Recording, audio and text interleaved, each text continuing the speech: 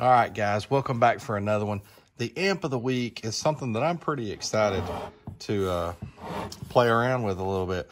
The Orion XTR 2500.1 DZ.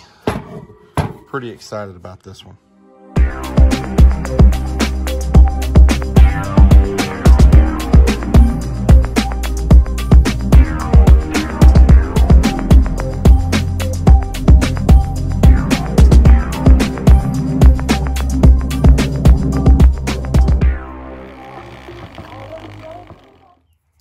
All right, shout out to Ronald K. That's how I'll refer to him. Um, and that is his first name and initial for his last name. I just didn't know if he wanted me to mention him or not. But really cool guy. Met with him a few, maybe three or four weeks ago. He actually bought a WA2K from me. We met in person. Um, I've sold more of them that way, by the way. Um, and just a really cool dude. We start talking about amplifiers. He's got a bunch of them you know, eight or 10 amplifiers, and he's got a number of them. He's willing to let me borrow any of them he's got, which was super cool to uh, make videos with and all. And he's, um, I'll be honest with you, I'm interested in most of them, but uh, I picked out a few. And so I met with him again on a later date and got three amplifiers from him. Uh, he's got some really cool old uh, Rockford DSMs. I would love to do some of those, but I'll be honest with you, I'm just, I don't want to blow them up. Uh, y'all know that I had a Rockford DSM 100 myself that blew. Uh, old capacitors just couldn't couldn't handle that thing. Blew while it was sitting on the bench, just idling. Wasn't even doing a, a run on it when it blew. It was just idling. But anyhow, I'd hate for that to happen to somebody else's amplifiers. So this is one of the three that I picked out. And um, if y'all will remember, Big D did this amp several years ago, and it did really great numbers. I remember watching it back then, thinking, man, I want to pick one of those up, and uh, just never did at all. The only difference is it looks identical to the one that Big D did, but Big D's model was before they started putting the Z on the end here. The rest of it was the same. Uh, this one, by the way, See this end cap right here? There's supposed to be one on this end too. Um, you can see where it, it screws into place, but uh, it's missing. Also missing is the bass knob. Now, one of the only differences I know of between Big D's model and this model, when this model came out with the Z, they started giving you a bass knob with a clip light. And Big D's model did not have a clip light on the bass knob. So this is a used amp. I'll be honest, I haven't even hooked it up yet to make sure it turns on and all that. You guys are going to see that with me. But uh, this model, this exact model is still available on Amazon right now. And this is a pricey amp, guys. This is $384.99. That's a lot um, for an amp these days. But this is a Korean half bridge. And uh, that's where the more expensive amps are coming from Korea and the half bridge models, but they're usually built like a tank. This this amp is heavy. I ain't gonna lie, and especially for its size, it's a decent size amp, but even for its size, it's very heavy. So I went on Orion's website and printed off uh, the specs for this amp. You'll just have to trust me that this is for this exact amplifier. But up here at the top, you can see the ratings. Uh, 4 ohms, 2 ohms, and 1 ohm. And 1250, 1750, and 2500. Uh, and then they do give it, you see that RMS at 2 ohms at 0.5, total harmonic distortion plus noise, 3000. All right, so there you see the uh, zero gauge. Remote turn on is 10. Speaker out is 4. That's big. And then look here at some of the other uh, the other stuff. So uh, input control 0.2 volts to 6 volts. 250 amp fuse recommended. And the supply voltage is 9 to 16. So we may give this some more voltage uh, once we get to the one ohm run. We'll see. We'll see if it's needed for my bench here. But instead of starting at 14.8 uh, on some of these runs, I'm, i may bump the voltage up a little bit so that we can still, I'd like for it to stop and, and still be in the 14s. I'd say 14.0 or better. But we'll get to that here in a little bit. Anyhow, guys, um, let's look at these ends. Here's those zeros. And yeah, that that is that is four gauge there on the speakers. You only get one positive, one negative. Um, no lights on the end. I think these are lights right here. See these little bitty? I think those must be lights. Like I said, I haven't even turned this thing on yet. And then here's the other end. Hopefully y'all can see that okay. But we've got Tiffany RCAs, um, inputs and outputs. Here's your gain or level. Subsonic, this is different. Uh, off and 25. I don't mind that because I often set my subsonic. I think both of my son's vehicles have the subsonic set at 25 right now. Uh, his bass boost, 0 to 18 dB. Um, let's see. It's got a remote. That's interesting. A three and a half remote, three and a half millimeter remote. Here's a low pass, 15 hertz to 250, phase 0 to 180. You got a switch here for slave and master, so you can strap this amp. And then over here, a data link. So the controls are mostly the same as what we see these days. Um, but there's a couple of things here that are a little bit different. Okay, let's uh, let's get this thing wired up. Let's see if she turns on, and then let's get to the good stuff and see what kind of power we can get out of it. All right, guys, here we go. First turn on. Three, two, one. I don't even know what we're looking for here. Does it have any? Oh yeah, I do see. There's a light right there, that first one. All right, so this is probably power, protect, maybe clip. One of these is probably a clip light. Let's turn it back off and then back on. Ah, okay. That was cool. I didn't notice that right at first, but that's the only lights at all on the amp. Okay, let's finish wiring it up. All right, guys, this is the 4 ohm test, rated 1250 watts. This is a Class D monoblock, by the way, so this is for subwoofers only. Don't get one of these to put on your door speakers. So all the testing will be at 40 hertz today. Uh, we're starting off at 14.8 volts. It's right there. You saw that toggling um, just barely over 14.8. Uh, we're going to capture the current. Here we go. 1250. Are we going to get it?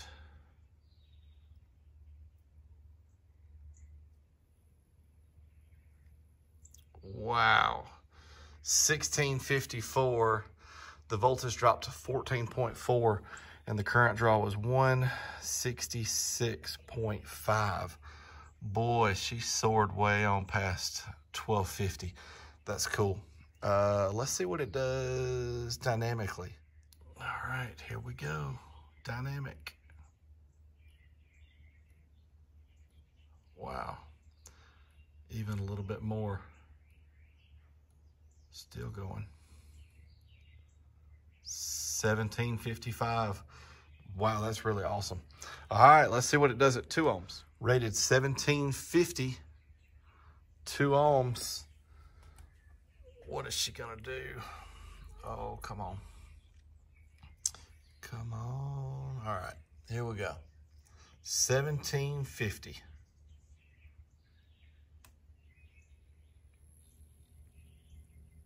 What? Guys, 2729. The voltage dropped to 14.1. We're definitely going to have to turn the voltage up for the 1 ohm test. Uh, she pulled 302.3 amps.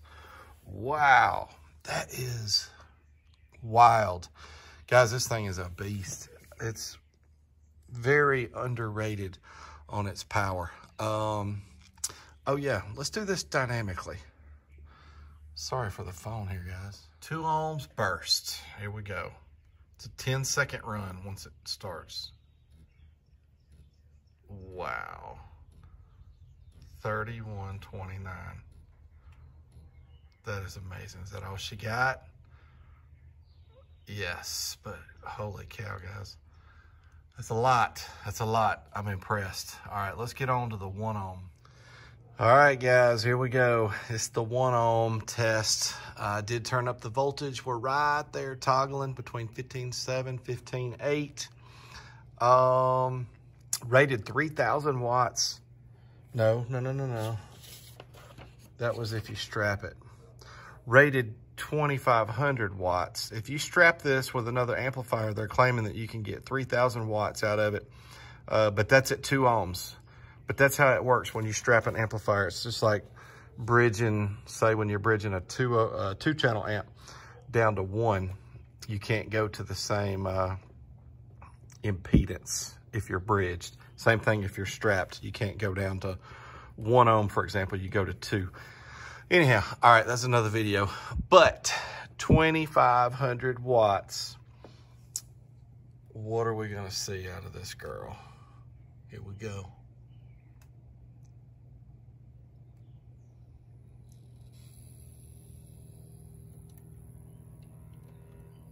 Wow.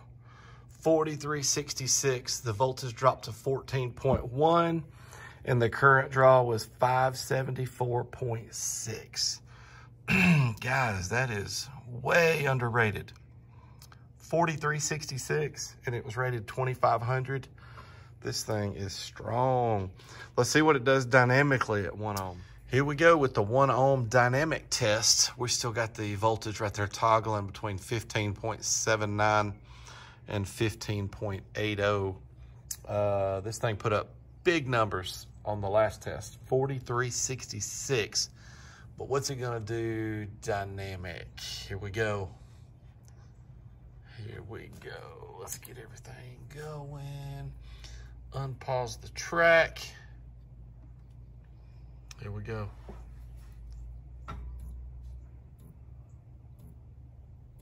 Wow. 5420, 5433. Wow. This amp is so stout. I mean, um, should we do 0.8 dynamic? Maybe even 0.67 dynamic? Let me think about that. I'm tempted to uh, to drop her on down, but dynamic only. All right, let's uh, let's let's let's check into that. All right, here's that 0.8, but keep in mind we are right there at 15, 7.9, 15.80 on our voltage. Can she do the 0.8? Unpause the track.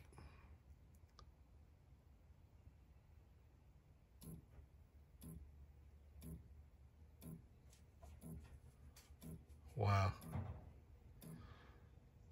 Wow. Wow, guys. This thing is stout.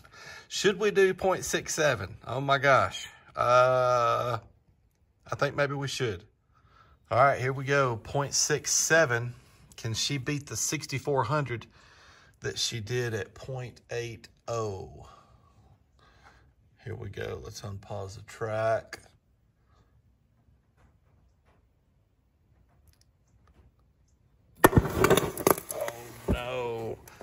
Oh, I should have known better. Wow. I guess I just bought me an amplifier. Dang, guys. Ugh. Oh, God. Ah. Anyhow, this is a good amp, too. I might just have to buy one of these, like a brand new one. Well, I guess we won't be hooking it up to uh, subwoofers. Dang, guys. All right. I guess that's it for this one. Um, Ronald, I'll buy this one from you. Guys, thanks for watching. All right, guys, y'all know what that means. We may as well take the plate off of it. I've been chatting back and forth with Ronald. By the way, this thing is still warm and I've already ordered Ronald a brand new one on Amazon. They're $415 with tax, by the way. Anyhow, Ronald, I contacted him immediately. He's super cool about it. Um, and I just uh, ordered him a brand new one. He didn't even ask for that. Uh, he said we would work it out some some other way. And I just took it upon myself to go ahead and order him a brand new one. That's just how I do business, guys. I don't, I'm not going to leave somebody hanging or screwed over or, or in worse shape than before they dealt with me. Uh, it's just how I do business, honestly. Uh, but enough of that. Let's see what this thing looks like. All right. So first off, I'm loving what I'm seeing here as far as the guts goes. Really beefy. These are pretty big uh, caps here. Look at all these transformers. But here's what we're seeing over here on this side. The transistors over here. Looks like every one of them. May, I don't know about this. Yeah, I'm just going to say all the transistors on this side those look completely fine right there. Um, anyhow, he and I were chatting about how it was probably either a, uh, caps or transistors. That's what it is, guys. This is totally on me. I should not have gone to gone to 0.67. Uh, and to be honest, I'm I'm regretting now going to 0.8. What's interesting is y'all know I rarely ever drop below the ohm load, the lowest ohm load that an amp is rated. I've only done it, I've only done it a few times. I rarely ever do that. Some of the other channels, um, they drop to lower ohm loads uh, a lot. And it's just something that I rarely ever do. But I've had I've had pretty bad luck anytime um, I do that. So I'm probably going to stop. I'm going to be honest with you guys. I'm probably going to go back to lowest ohm load that the amp is rated, and that's it. No lower, even when we're talking about dynamic. Um, anyhow, well, that's it.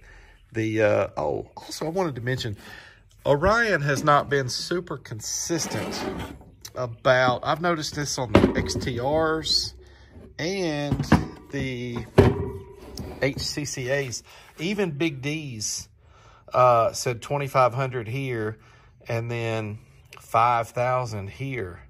Some of the XTRs are that way. They kind of give you like a max rating on the amp and some of them will still say the same. I like that this one just still calls it a 2,500. They don't call it a, a 5,000 on this one. So Anyhow, they're not super consistent about that. Some of the XTRs are that way. Some of the HCCAs are that way. I just, I don't know why. But anyhow. All right, guys. Once again, thanks for watching. Got some cool stuff coming up. Make sure you subscribe. And that's it. We'll see you next uh, Sunday.